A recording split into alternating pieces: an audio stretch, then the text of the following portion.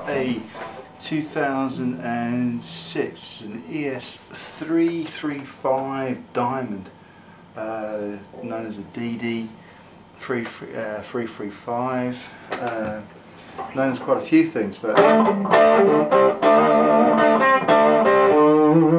this is a mint condition. It's got a pick guard that's still not been put on because it's just literally been kept.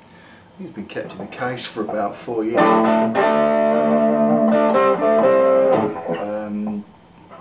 Got the uh, got Grovers on the top, which are great for this guitar. It's uh, got 57 classics in here, and it's got the diamond cuts. It's just like the, and it's in Pelham Blue as well. But I mean, this is it's essentially it's the body of the of the Dave Grohl DG335, and I suspect it was kind of made as there's only about I don't know 50 or something of these were made, and they came in white and black and the blue, and I suspect they kind of ran out of necks or something and just were left with the bodies and had to do something with them, but.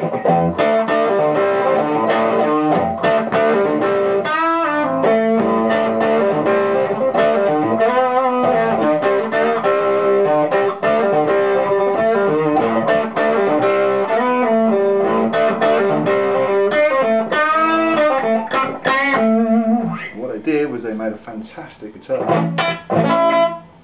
What really strikes you is just a, is a, it's a, a precision instrument. It just it feels great. The frets are fantastic. It just lends to a really great uh, playing experience. I mean, it just.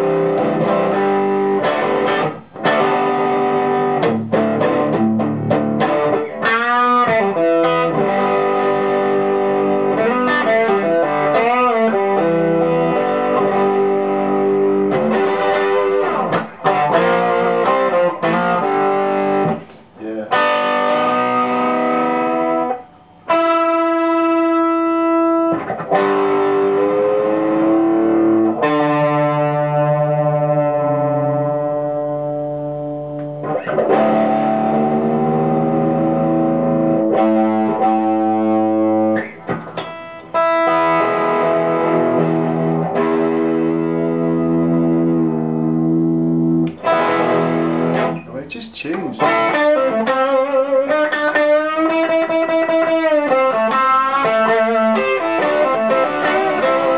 It just up so great.